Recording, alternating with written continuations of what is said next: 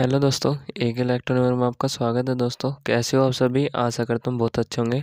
तो दोस्तों, जैसे कि आप देख पा रहे होंगे, हमारे पास बहुत सारी ये ये जो झालर रहते हैं दोस्तों, ये यानी कि जो हमारी डेकोरेशन के लिए रहती है लड़ी तो ये हमारी लगाई जाती है। तो दोस्तों, हम इसे रिपेयर कैसे करेंगे, वो मैं आपको बताऊँगा।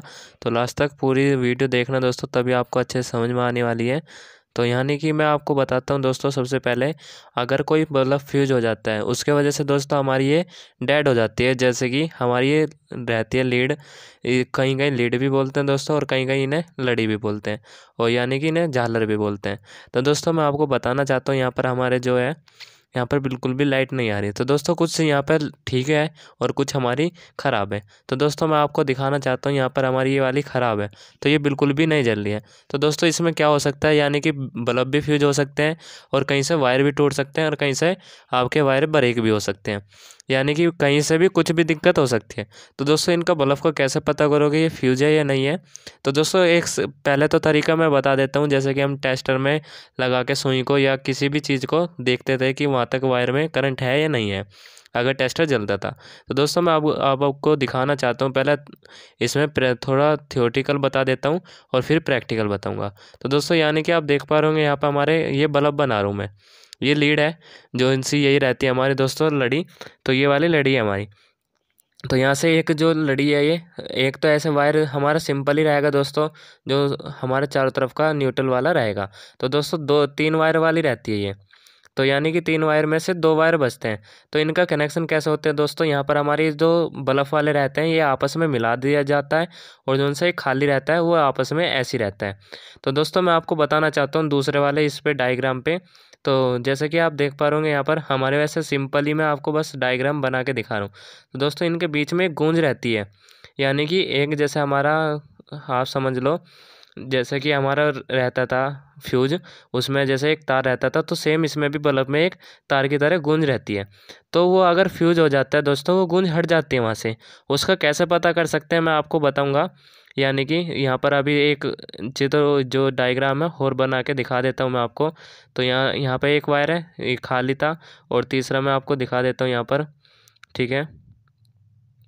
तो यहाँ पर हमारा तीसरा है ये वाला, जो हमारा डायग्राम है। तो यानी कि मैं इसे अभी हटा देता हूँ यहाँ से, और भी तीसरे वाला वायर दोबारा से बना के दिखाऊँगा।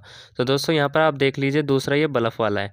तो ठीक है तो यहाँ पर हमारा जो है दोस्तों ये हमारे तीनों, दोनों बल्ब वाले आपस में मिल गए और तीसरा जो न्यूट्रल है दोस्तों वो ऐसे ही रह गया, ठीक है? तो जो ये बल्ब फ्यूज हो जाते हैं दोस्तों, उनमें आपका ऐसी उसे डायरेक्ट भी कर सकते हो। तो ये तीन वाले वायर का दोस्तों दो में बल्ब वाले एक जगह मिल जाएँगे और जो न्यूट्रल आएगा दोस्तों वो एक जगह रहेगा, ठीक है? तो मैं इतना ही बताना चाहता हूँ, बस अगर दोस्तों ये फ्यूज हो जाता है तो उसे आप उसे कैसे कर सकते हो? ठीक है? यहाँ पर अब मैं अब आपको दिखाता हूँ एक एक बल्ब को कि उसे फ्यूज का कैसे पता कर सकते हो फ्यूज है हमारा या ख़राब है या सही है। तो दोस्तों, हमें एक फ़ोन लेना होगा सेल फ़ोन ले सकते हो आप। तो यहाँ पर आप देख लीजिए दोस्तों, यहाँ पर हमारे पास फ़ोन है और इसकी फ्लैश ऑन करनी है। तो फ्लैश ऑन के ऊपर आपको ऐसे बल्ब आपको रखना होगा और एक एक बल्ब को आपको चेक करना होगा कि हमारी ये गुंज हमारी हट तो नहीं रही है या हमारा फूक तो नहीं गया है बल्ब अगर दोस्तों बल्ब फूक जाता है तो ब्लैक ब्लैक अलग ही दिख जाता है। तो अगर गूंज हमारी अंदर से हट जाती है और फिर भी हमारी नहीं दिख रहा है बाहर से तो आप ऐसी चेक कर सकते हो। किसी लाइट के उसमें चेक कर सकते हो, जैसे मैं आपको दिखा रहा हूँ। तो आपको बहुत सिंपल तरीका दोस्तों, ऐसे चेक करने का। आप कहाँ तक उसमें सुई लगा के देखोगे वायर में तो ऐसे आप सिंपल ही तरीके से चेक कर सकते हो, जैसे मैं आपको दिखा रहा हूँ। तो दोस्तों, यहाँ पर हमारा कोई भी बल्ब इसमें फ्यूज नहीं है। अभी और चेक करते हैं दोस्तों अलग से कि और कोई सब हमारा टूट तो नहीं रहा है या वायर। तो यहाँ पर आप देख लीजिए, सारे बल्ब हमारे सही दिख रहे हैं लगभग। तो मैं अभी आपको दिखाना चाहता हूँ यहाँ पर। तो दोस्तों यहाँ पर हमें इसे देखना होगा अलग हटा के कि हमारा कोई सा बल्ब और तो फ्यूज नहीं है। तो यहाँ पर हमें ऐसी बल्ब को ऐसी चेक करना होगा। या तो आपके पास ट्यूब लाइट हो ट्यूब लाइट या बल्ब हो कोई सा भी नो वाट का, उसके सामने ऐसे आप चेक कर सकते हो। जैसे कि मैं आपको दिखा रहा हूँ तो इसमें गूंज रहती है दोस्तों, उसे ऐसे ही चेक कर सक, कर सकते हो। ठीक है? तो ऐसी आपको गूंज दिखेगी। अगर दिख रही है तो ठीक है दोस्तों। अगर नहीं दिख रही है तो दोस्तों उसे बल्ब को काट के आप उसे दोबारा से चालू कर सकते हो। तो दोस्तों, ऐसी आपको चालू करनी होगी क्योंकि दोस्तों, ये हमारे सब में ऐसे ही मिलेगा, सही मिलेगा दोस्तों। तो यहाँ से एक हमारा बल्ब का वायर टूट रहा है दोस्तों, जैसे कि हम इसे खोलते हैं तो ये पुराने वाले कस्टमर के यहाँ से आई थी दोस्तों।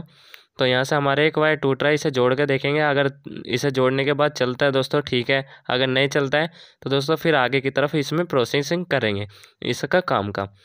ठीक है तो यहाँ पर हमने इसे लाइट को ऑन किया और इसे अभी छीलते हैं वायर को, और छीलने के बाद दोस्तों इसमें दोबारा से कनेक्शन करते हैं। तो फिर आपको दिखाएँगे दोस्तों, ये चलती है, नहीं चलती है, इसे जोड़ने के बाद। तो दोस्तों, जैसे मैंने सिंपल तरीका बताया आपको, ऐसे आपको एक सेल फ़ोन ले लेना होगा या आपको ट्यूबलाइट ले लेनी होगी। जैसे कि ये वाली रहती है अब दोस्तों, इसकी सर्किट वाली, जैसे कि मैंने आपको दिखाया था, एक बार रिपेयर करके भी। तो आपको उसके सामने ऐसा बल्ब रखना होगा और देखना होगा दोस्तों, उसमें गूंज दिख रही है या नहीं दिख रही है। अगर नहीं दिख रही है तो दोस्तों, ऐसी आप उसे सही कर सकते हो। तो मैं आपको दिखाना चाहता हूँ इसे चला के। तो दोस्तों, हमने एक बल्ब यहाँ पे वैसे पहले भी डायरेक्ट कर रखा था। तो जैसे कि आप देख सकते हो, यहाँ पर हमने एक बल्ब फोड़ कर और इसमें इसे डायरेक्ट कर रखा था, जो अंदर की गूंज रहती थी। ठीक है, दो टर्मिनल रहते हैं दोस्तों इसमें बल्ब में, और दोनों इसमें हमने आपस में टच किए और ये बिल्कुल अच्छी तरीके से चल गई थी पहले। तो ऐसी मैं आपको दिखा, बताना चाहता हूँ दोस्तों, आपको ऐसी बल्ब के सामने एक एक बल्ब को लाना होगा, जो उनसे ये लीड वाले हैं, लड़ी वाले। तो ऐसे ही आपको लाना होगा और फिर इसे देखना होगा कि कहीं से हमारा बल्ब फ्यूज़ तो नहीं है। तो ऐसे ही आप चेक कर सकते हो दोस्तों, अगर वैसे चेक करते हो आपको करंट भी लग सकता है। तो मैं आपको सिंपल तरीका बता रहा हूँ दोस्तों सेम ऐसे आपको चेक करना होगा, जैसे मैंने आपको बताया। तो दोस्तों, यहाँ पर हमारे बिल्कुल अच्छी तरीके से चल चुकी है। अगर नहीं चलती थी दोस्तों, फिर हम उसमें अलग प्रोसेसिंग करते। ठीक है दोस्तों तो मैंने सिंपल तरीका बताया कि आप उसे कैसे ठीक कर सकते हो अगर बल्ब फ्यूज है तो। तो यहाँ पर हमारे बिल्कुल अच्छी तरीके से चल चुकी है। तो अब मैं दूसरी भी आपको चला के दिखाऊँगा दोस्तों, हमने उसमें भी ऐसे ही करा था। तो दोस्तों ये सिंपल तरीका है तो सेम आपको भी ऐसे ही करना है, अगर आपके पास ये पुरानी लड़ी रखी हो तो। तो दोस्तों यहाँ पर आप देख लीजिए, यहाँ पर भी हमारी बिल्कुल अच्छी तरीके से ये वाली भी चल चुकी है। तो दोस्तों बिल्कुल अच्छी तरीके से चल चुकी है। तो आई होप गाइस आपको वीडियो अच्छी लगी हो तो लाइक करना शेयर करना। मिलते हैं नेक्स्ट वीडियो में। वंदे मातरम, जय हिंद।